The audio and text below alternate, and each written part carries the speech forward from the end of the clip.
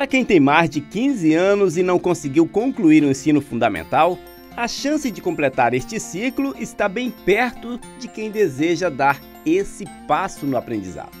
Angelina Tomás, aos 62 anos, está aprendendo a escrever as primeiras palavras. Ela conta que nunca foi à escola antes e agora está estudando com o incentivo do filho. Não, não gostei de criança não. Não tive oportunidade não. Porque meus pais, eu, eu fui, fui, fui criado no interior, né? Aí nós só, só nós trabalhávamos na roça, sabe? Estou aprendendo, uns pouquinhos a gente vai aprendendo. Né? Meu, meu filho, ele, ele incentiva muito para eu estudar. Um outro exemplo de vontade de aprender a ler e escrever é dado pela aposentada Iraci da Silva, que devido à falta de oportunidades não teve como ir à escola quando criança e agora aos 70 anos se orgulha de estar na sala de aula e já ter conseguido a escrever o próprio nome.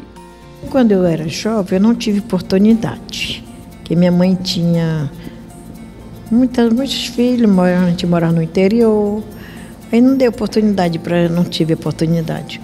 Então hoje eu quero estudar para ver se eu, pelo menos, comecei a estudar, eu não sei fazer meu nome, eu já faço meu nome. Para quem não sabia ler no alfabeto, então hoje eu considero já, não considero mais sendo no alfabeto. Dona Iraci e Dona Angelina são dois bons exemplos de que nunca é tarde para estudar.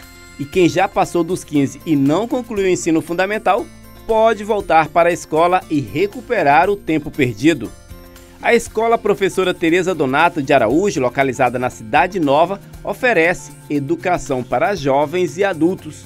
A questão do retorno à escola é um momento muito importante né, para qualquer cidadão até mesmo por a questão do exercício da cidadania. Quando a pessoa não consegue ler, quando ele não consegue se alfabetizar ou quando ele não consegue é, adentrar ao mundo letrado, isso gera uma dificuldade muito grande, principalmente na vida social, na própria ascensão social desse cidadão.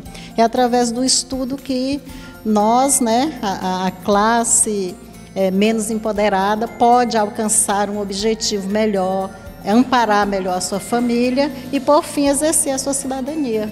Diferente do ensino regular, no Centro de Educação para Jovens e Adultos, o estudo é personalizado. Os alunos são acompanhados individualmente, com conteúdos e disciplinas organizadas por módulo. E quem quer dar um novo passo na vida e busca concluir o ensino fundamental, basta procurar a unidade de ensino, localizada na Travessa Bar, na Cidade Nova, e fazer a matrícula. É, procura o Centro de Educação de Jovens e Adultos Teresa Donato de Araújo, manhã, tarde ou noite. Vem aqui, escolhe o horário que ele está disponível, traz a documentação, identidade, CPF, comprovante de residência, é, o documento histórico escolar e faz a matrícula. Nós matriculamos durante todo o ano.